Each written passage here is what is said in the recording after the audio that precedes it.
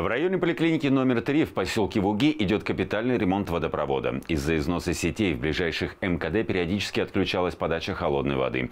Глава округа Владимир Волков проверил ход проводимых работ. Водопроводная сеть, проложенная дома номер 26 поселка Буги до центрального теплового пункта, построена около 30 лет назад. Она обеспечивает холодной водой более 500 жителей МКД. В последнее время возраст трубопровода давал о себе знать. Как показала эксплуатация, на этом участке очень большое количество было повреждений. Приходилось регулярно заниматься раскопками, ремонтировать. Часто отключение холодной воды, скачки давления и, соответственно, неудобства от того, что не могли подать качественные своевременные ресурсы.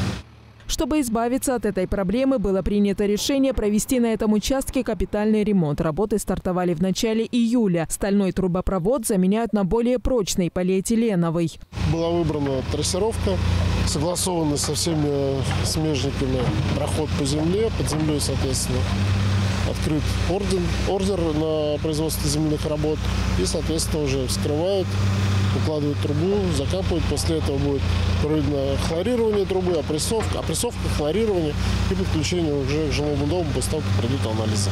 Завершить ремонт и привести в порядок эту территорию планируют уже в августе. Подобные работы проходят также в районе пятого дома на улице Волковская. Луиза Игиазарян, Петр Пономаренко, телеканал ЛРТ.